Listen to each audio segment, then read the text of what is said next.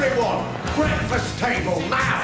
Rhiannon's hogging the bathroom. If you're not out of there in three seconds, I'm coming in. Take it easy. Where do you think you're going? I need in my hair. Table now. Anyone not in the dining room in five seconds gets no breakfast. What's all the shouting about? A new regime. Too much dilly-dallying in the morning. From now on, everybody at the tables by eight o'clock. Or you forfeit your breakfast. One not fair. Our house, our rules. Isn't that right, Mr. Budgen?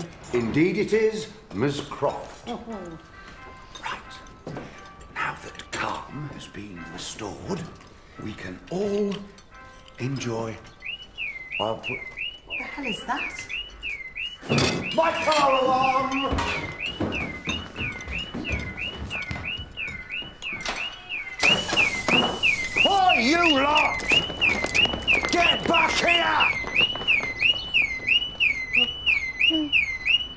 Havelock.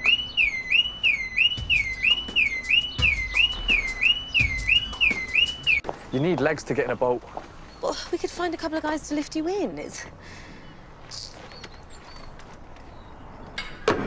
Thought you enjoyed your breakfast, Rhiannon. Yum, yum. You done that on purpose, you know, like 'em. There's plenty of fruit. You should have the fruit.